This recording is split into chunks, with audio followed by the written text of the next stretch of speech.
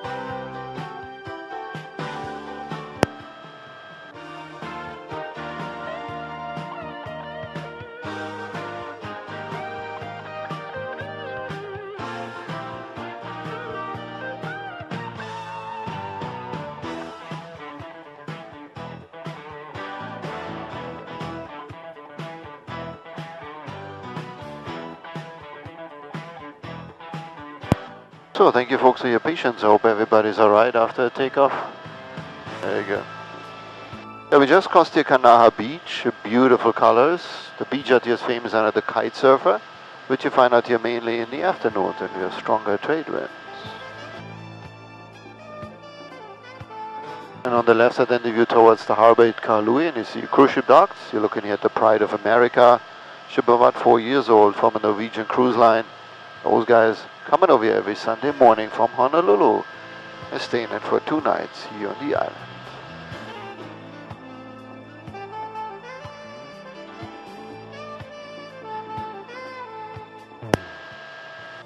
Yeah, and itself is also very good to see at your left side, the largest town of Maui. That is, of course, where most of the people live here on the island.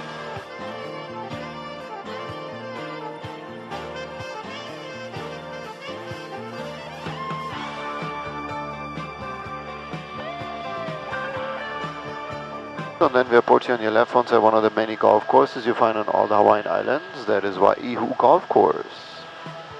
In case you have golf golfers aboard today, that is the only municipal golf course you would find here on the island. Or in other words, only golf course where you don't have to take out a mortgage to play golf here on Maui.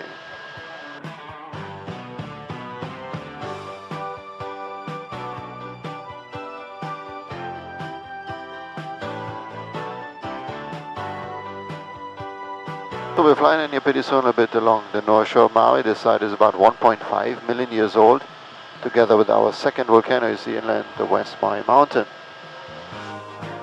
So that's a little bit the rougher side in here the island. The waves pounding against those walls out here since a long period of time, causing out here also quite a bit more erosion.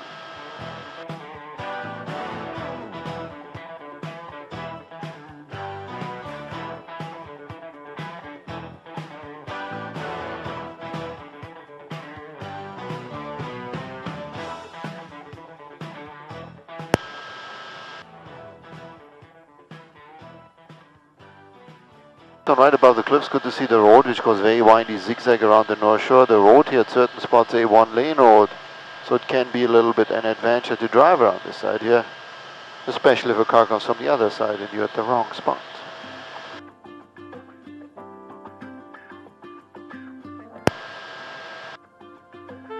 The houses, by the way, you see further upslope have a great unobstructed view, several million dollars worth on average. So there's one thing for sure, folks no helicopter pilot lives there. no chance.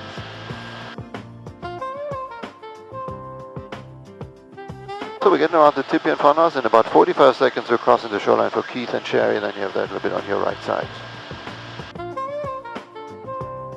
But first I want to point out the larger cave which starts to open up pretty soon on your left side in the corner. They found beds in that cave, the Hawaiian bed, pretty small, just about 5 inches. They found it also at Haleakala at 10,000 feet. I'm really going to turn your head a little bit, then you can see it in the corner to your left side.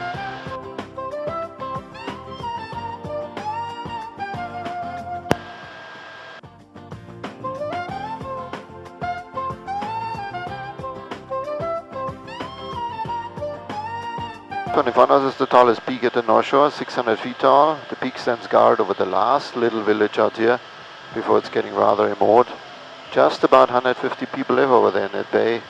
The village out here is so rural, they received their electricity just about 50 years ago.